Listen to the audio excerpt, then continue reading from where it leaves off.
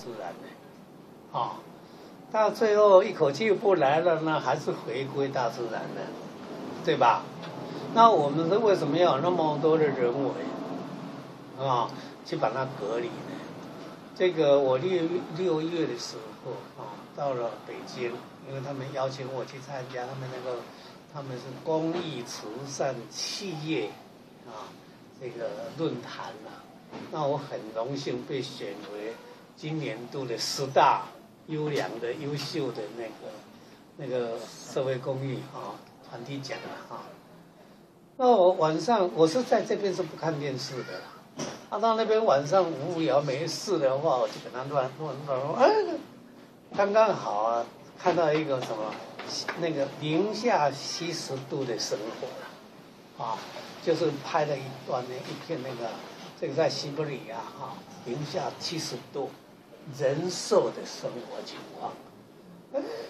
零下七十度的话，哈，你看人在那边穿的比我们这厚一点而已啊，照样生活啊，照样活下去，整个冰天雪地呀，哈，哎，那个是动物，也是一堆脏皮呀，也是这样活下去啊，对吧？那我们在这边的话，怕什么？哦，那就是人的这个适应力很强，哦。所以人最好的跟大自然呢维持一个比较密切的关系，你自然有你的适应能力、抵抗能力。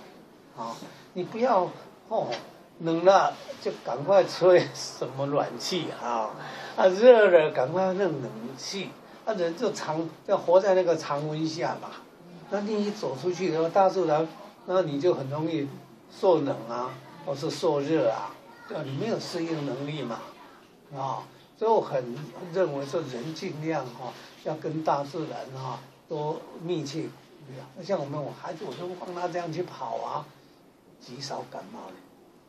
前几年不是报纸上登了很厉害啊，红红火红火蚁啊哈，这个摇掉会死人嘛对吧？有没有？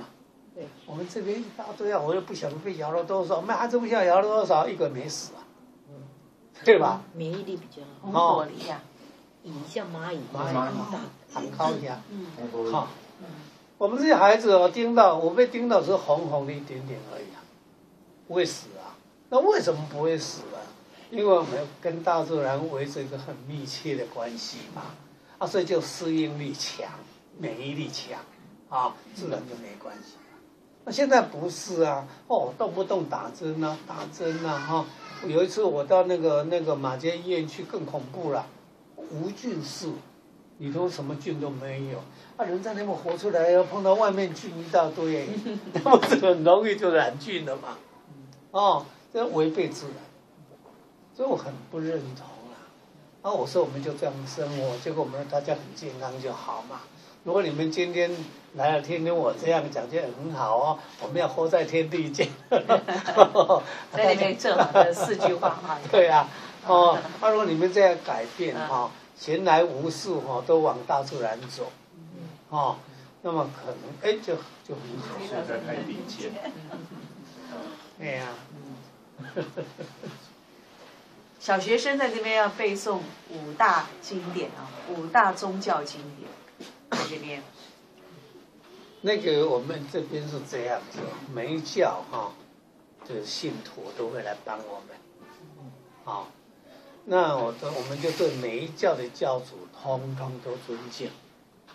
但是我们每一教呢，就选他两篇经经文呐，啊，比较代表性的啊，精要的那些哈，那让我们孩子背一背。好，这个，嗯，我不晓得你们对宗教的理解怎么样了哈。我是算是运气很好的人，我老爸没读书，是一个农夫。我妈妈也没读书，农妇，啊，但是我很幸运，我这个乡下人很幸运，一个初中、高中、大学、研究所，我在民国五十年呐，你生了没有？还没有。民国五十年你生了没那还没还。好，我在民国五十年了哈。那么我就考上哈，那个时候台湾唯一的国文研究所。台师大，啊，这个台师大这个国民研究所，就被我这个台湾囡仔扣了进来。不容易，啊，不容易。我之前没有一个本省人，都是外省人，是我第一个考进去。啊，连两年以后呢，我竟然就可在大学当讲师哦，教起大学生来。我在我东吴大东吴大学毕业，中文系毕业，考上师大的回回母校哈，就当讲师。这个五五十四年，二十八岁，我教大学是二十六岁，二十八岁哈，我就当高中的主任，还是继续在大学教书啊。好，他五十六年我就升副教授，五十八年哦，那个时候我那个书上面有写哈，心血来潮啊，就想当国中校长。那是国中第二届，我自己啊就毛遂毛毛遂自荐哦，写五分钟，啊，这个写一封信哈，给当时的阳明山管理局局长哈，啊毛自己简单介绍一下，然后呢就直接跟他表达，我想当国中校长，有机会给我一个，啊真的给我了，我的校长是一块两毛钱来的，我写一封信，邮票一块钱。信封一毛，信纸一毛，就这样。这个当校长哦，的第三年，呃，第四年了，民国六十一年底，那个时候是第一届中央民意代表哈，中国的中央民啊要选，他本来也没去想这一些了哈，结果呢，报纸登出来，我学校人事主任哈，他跟我见面，我希望。说竞争竞选什么？那时候立法委员，我说算了，没人没钱怎么竞选？啊，没人是那个时候的台北市党部是国民党了啊，我一个都不认识，中央党部一个都不认识，那是没人了啊，没有人事关系呀。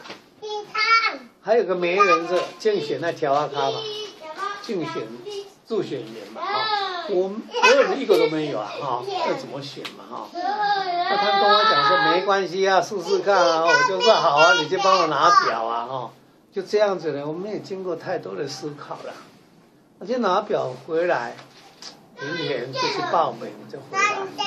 我想这一次更划算，报名反正一毛钱也不花，报名会报名那个上下两来回两次，那个尤其是。给我提建议那个嘴痒的那个人，他花掉的哈，这更划算。那个校长花一块两毛钱哈，他这个连一毛钱不花，万一要提到名的话就捡到了吧哈，他提都不到名也没损失。我继续干校长，那个不要在上面玩了哦，听到没有？下来，下来，阿德。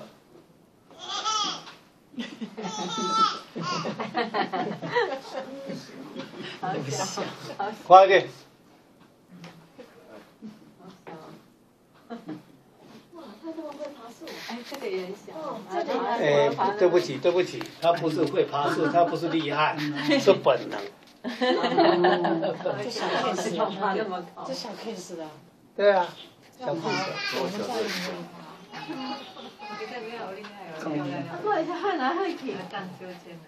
快点了，离开哦。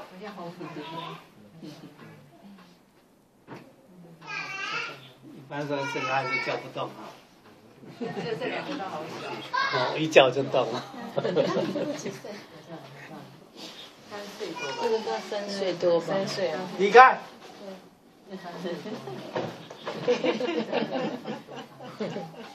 又来了，来了，雨桐，雨桐，离开。他要来让我们看，他让我们来看他。校长，这是不是所谓的人来疯啊？这是不是所谓的人来疯啊？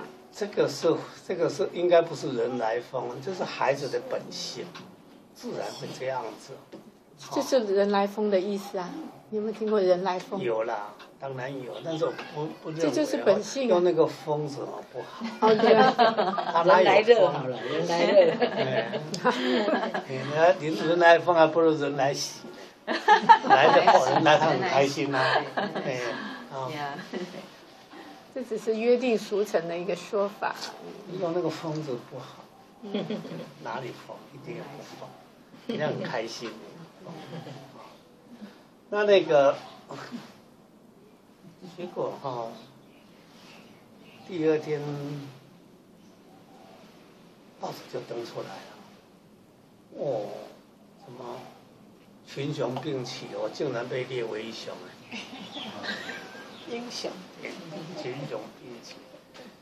结果我大哥看到了，打电话来，打亏啊，哈，你像那大学副教授、国中校长，啊，不知道天堆归滚蛋，竞选一次立法委员要花多少钱，你知不知道？我跟他耍赖，我说不知道，因为不可能提到名，到当时的政治情况啊，因为我我。都不认识嘛，我也不去走走走门路啊，去活动什么都没有了，啊，就纯登记而已了。谢谢。我来，我来这边，我顺手，我顺手。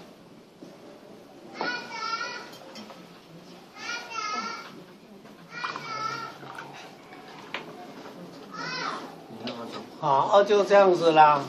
我说啊，提不到名了，那好玩了，随便乱登记而已啊。